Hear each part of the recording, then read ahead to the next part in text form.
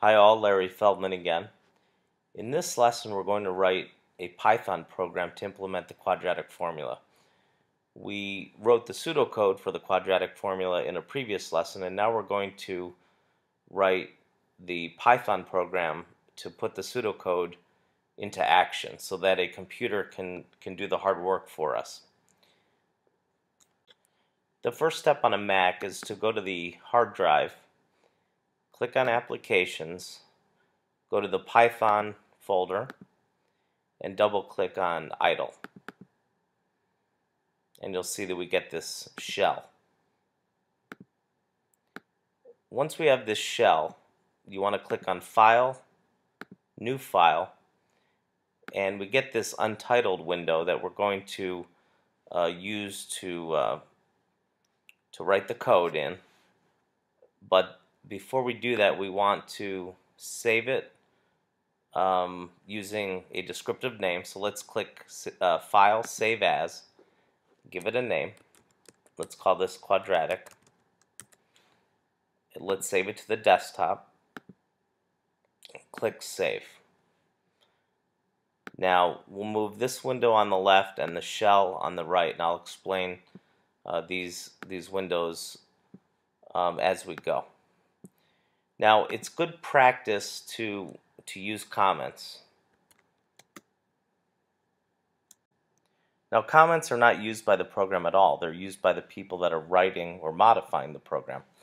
They're simply used to make the program more readable so that you can come back to the code weeks or months later and understand what you did or so that someone new to the project can look at your code and understand how it works a little bit more easily. And comments are indicated with with the uh, pound sign, which is shift 3. It's very common to start a program with the name of the program. So let's say quadratic formula. And it's also common to put the author's name and the date.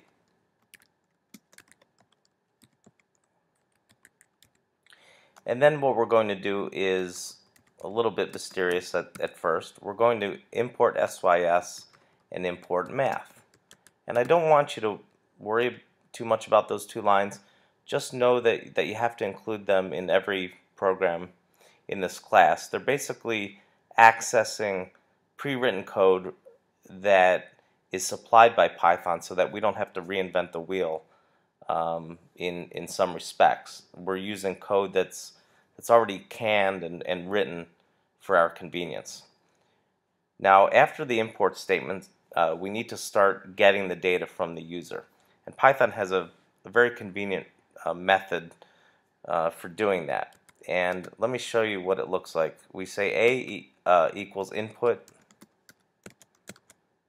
enter A.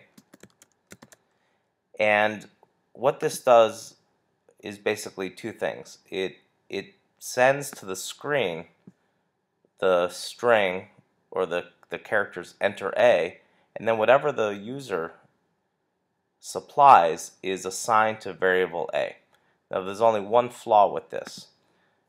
Um, the input is treated as a string of, of text characters, meaning the, the software doesn't know that what's being um, inputted is a number at this stage. It just thinks it's it's text or characters. So we need to put float in front of it so that the software knows that the input is a floating point number or in other words it's a decimal. And then we need to input the other two coefficients b and c and I would encourage you to revisit the pseudocode to refresh your memories on this. Uh, we just have to alter the uh, text a little bit.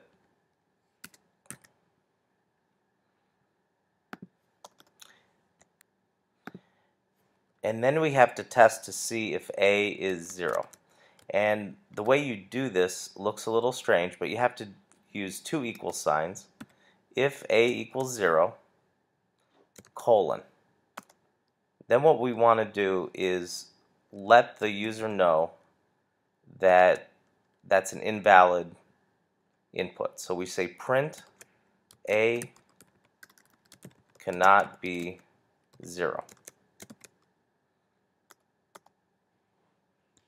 So let's look at our uh, pseudocode again.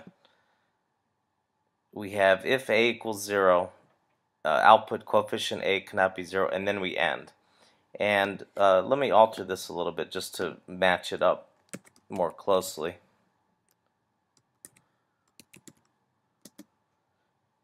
To end, we need to do uh, or use a command called sys.exit like that. And that that just ends the program.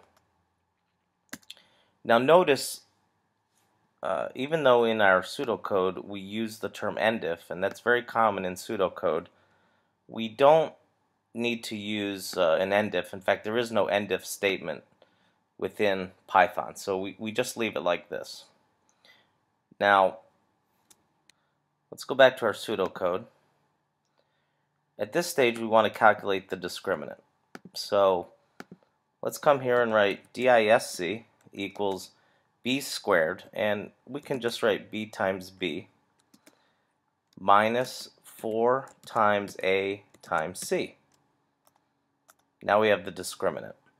Going back to the pseudocode, we need to test to see if the discriminant is greater than or equal to 0. So we write if discriminant greater than or equal to 0, colon, we need to uh, calculate two answers.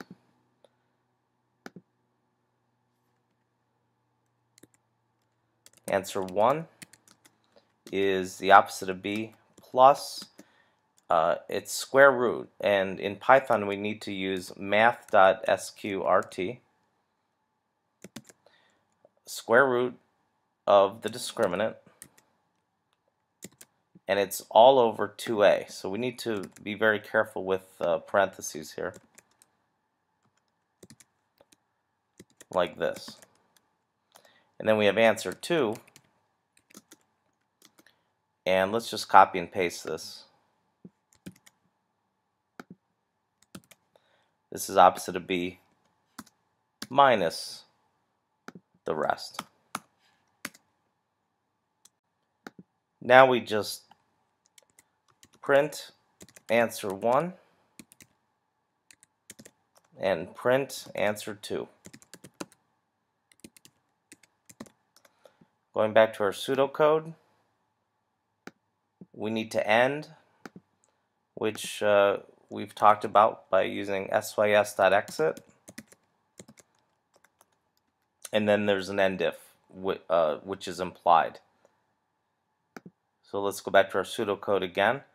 The last step is to output no real solutions and then after that end. So at this stage, if we get this far, we print no real solutions and then we end again. Okay, make sure the left window is selected. Go to Run, and then run module. And you'll see on the right we have enter A printed to the screen. Now it's very important to test every line in your software to make sure that you don't have any mistakes or bugs. So let's try 0 for A. Then the software prompts us for B and C. We could just enter whatever we want here. When we hit return or enter, we get the message coefficient A cannot be 0, which is exactly uh, what we expected. Then what we need to do is click on the left window again, run, and run module once again. Enter A. Let's try negative 1. Enter B, 3.